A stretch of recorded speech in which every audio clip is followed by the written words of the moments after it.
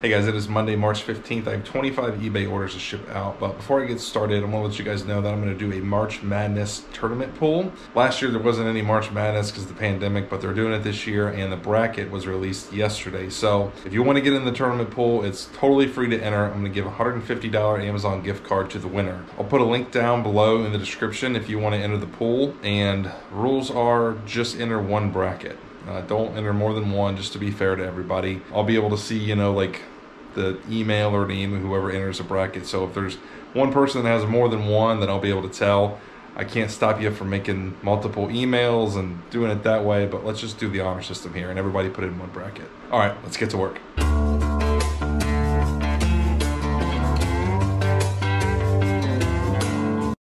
Got a few things going out that I sold outside of eBay. These are viewers that reached out to me um, wanting some of the stuff in my most recent purchases.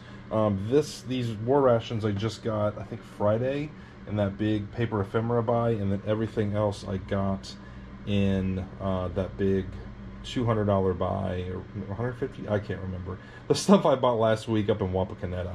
Um, first thing is all these World War II rations. These are going out to Dominic for $75 free shipping. Next is these three Snap-on mugs going out to Chris for $20 free shipping. This MASH vodka dispenser is going out to Kirk for $35 free shipping.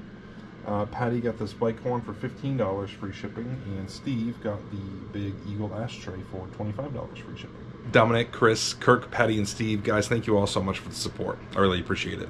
Okay, we're shipping out some eBay orders now. I've got an order for three Toxic Crusaders figures. I've got, let's see, one in C51 and one in C41. Okay, this is the first one right here. He's called Radiation Ranger. And then I think this is the one, yeah, C51. That is Dr. Kilimovich. And we've got one in E4. E41, I guess. Yeah, this guy. This one is Toxie. I think that's right. Same buyer got all three of these for $45.97 free shipping. Next is a telephone right here. It is an amplified photo phone, kind of neat. Put little pictures of family members and friends up there. And it has uh, big numbers, easier to dial. I got this at a garage sale. I paid $5 for it, sold for $14.99 plus shipping. Next is a PS3 controller right here. This is part of that bulk buy I made last week. This sold for $22.99 free shipping. I sold a helicopter from Masters of the Universe right here. Got this a few months ago as part of a big toy buy. It was incomplete, didn't have like the wings or anything. So I wanted to do an auction because it was kind of hard to pinpoint a value. Started it at a dollar, it sold for $23.50 plus shipping. Next thing's down in C52. This is an Ogio bag, new in the plastic. Kind of like a little travel kit, dop kit type thing. I got this from my guy Mike as part of a book buy. So I maybe got a couple dollars into it. That sold for $16.99 free shipping. Let's go and ask if you're named Chris. Chris, thanks so much for the support. Hope you like the bag. Next thing I'm shipping out is a thermal heating mask up here in this box.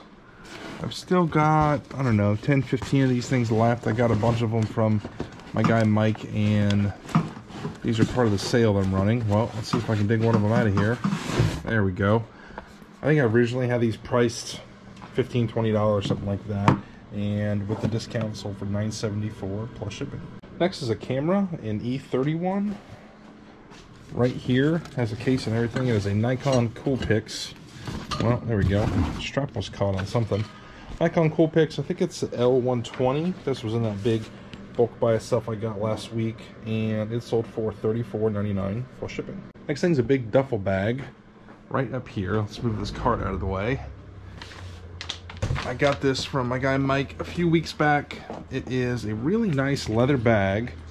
Let's see, the maker is Canyon. Yeah, Canyon Outback Leather Goods. And it has this Indiana Insurance Company logo in there. And if it didn't have that, I think uh, it would probably be worth 20 to $30 more. But with that logo, it sold for $34.99 plus shipping. Next is up here on E1. It's this big box right here. Let me see if I can get it down without breaking anything. All right, not too bad. Uh, this is also something I got from Mike. This is a Sony stereo with a couple of speakers. Has a uh, cassette player, uh, CD player, AM, FM, all that good stuff. That sold for $59.99 plus shipping. All right, I'm gonna take a break from packing orders and answer a couple of viewer questions. First is from Danielle Hughes. She asks, Hey John, just curious, have you ever had any dramas when getting boxes from store owners and how do you handle that? Um, so she's talking about pulling boxes out of dumpsters, which is where I get the majority of my boxes. And I've never had any issues. Um, occasionally, you know, an employee will pop out the back door and they'll see me and I'll just say like, hey, do you care if I take some boxes? And they never ever care. I've had one run in with store employees when I was pulling something out of the regular dumpster. It was a Buy Buy Baby store. This has been a while ago, like a year, I think. And they had thrown away like a stroller in the box and some other stuff that was in the box. And this lady like pulls up and she's like, you can't, you know, you can't take this stuff out of the dumpster. And it was really obvious what they were doing. They were like taking the returns that were like sort of damaged and throwing them away and then coming back and getting them later. I guess after like the store camera, like it was dark and they couldn't be identified. It was really sketchy what they were doing. I actually recorded the whole thing. Like she like called the cops and I was like, you can call the cops. I don't care. I'm not doing anything wrong because, you know, I'm not stealing. It's in the dumpster. So I didn't get in trouble, but the video is kind of funny. If you guys want to watch it, I'll put a link down below in the description. All right, next is from Joseph Amelie. When you do local pickup, how would you prove the buyer received the item if they decide to open a case saying item never received? With shipping, at least you have the documentation that the item was delivered. I'm pretty conscious about scams. Okay, so eBay actually added a feature. I think it's been a couple years now that they've had this. And when you have, when you select local pickup as an option and somebody buys it and they want to pick it up, um, they give that buyer a code. It's like this little like scannable code. And when you go to give it to them, you go into your app and you you know click that it's marked as you know shipped or dropped off or whatever, and you can get that code from them. I think instead of scanning it, you can manually enter it too. So that's an option if you do any kind of local pickup. Just remember you got to put that code in. All right, back to shipping. We've got a um, digital analog box right up here. I just got this last week and I was telling you guys to keep an eye out for these. So you can usually find them pretty cheap and they're good sellers. Um, this one was complete with the box, never been used. That sold for $24.99 plus shipping. Your name Ken got that converter box. He says, Hey John, longtime viewer and subscriber. Wanted to give my thanks for your awesome videos. Really motivates me to get my butt up and keep listing items even though I'd rather be napping. I would always rather be napping. I would appreciate a mention of my eBay store, Melanie Joy, and a couple stickers if at all possible. Thanks again for all you do. Ken, thanks so much for your business. I'll definitely throw in some stickers for you. Okay, next order has two items. First is a Rusty Wallace car. It says it's E2. I think it's this one right here. This sold for $14.99 plus shipping. And next is in E42. It is an old Astromatic pen and pencil set right here and it sold for $14.99 free shipping. Viewers Felix and Gladys got that stuff. Guys, thank you both so much for the support. Next thing going out is a Funko Pop right here. Jen from the Dark Crystal. I got this maybe a month ago as part of a bulk buy. I've got about $5 into it. That sold for $17.99 plus shipping. I sold a glove in, let's see, I guess C41. It was a little inventory code that said C3. This is a Dudley brand. I think this might be the first Dudley I've ever sold. It's not a very common glove. Uh, this is a first base mitt. Really quick way for you guys to tell a first base mitt apart from a catcher's mitt. Um, usually the model number will say something like FB. So um, this model number DSG, it's Dudley Sporting Goods, first base one. That's what they're going for with that, with those letters. Uh, and secondly, a catcher's mitt is usually like kind of a perfect circle if it's all the way opened up. And a first baseman is going to be like flat on one side and like a half circle on the other so that the first baseman can actually scoop the ball. So that's how you tell that. That one sold for $29.99 plus shipping. Next thing is a set of mugs. Over here in A8, I already have them in a box because I didn't want them clanking around and getting broken or anything. These are kind of unusual. I usually don't mess too much with mugs, but these are kind of neat. I thought they'd have some value. It's some hunting dogs and a horse. Just has a really cool scenery to it. These are called Marudamo ware. I might be mispronouncing it, but you can see it down there on the bottom. The pair of these sold for $24.99 plus shipping. Next thing is a Boston Red Sox hat. All my baseball hats are starting to sell now that the season's getting underway. Uh, this isn't new, but it's in pretty clean, good condition. That sold for $14.99 plus shipping. Next thing is a set of compression shorts. Once again, old inventory code said C1, but I think I see them right here. I got these at a garage sale last year. They're new with the tags. I think they're made for lacrosse, but you could use them for other sports too. It's a boy small, so I think that's what took them so long to sell. These sold for $34.99 plus shipping. I sold another baseball glove. Let's see. Right here, it is a Louisville Slugger. I want to say I had this listed around $15 or so. Not nothing, you know, really special. Um, somebody offered me $12 plus shipping, and I accepted. Next sale is a really cool one. It's over here in A31. Let's see, it is in this bag right here.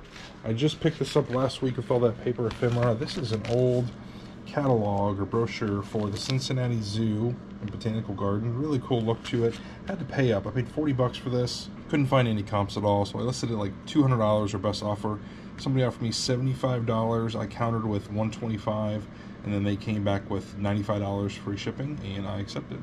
Next thing is a Chevy Corvette right over here.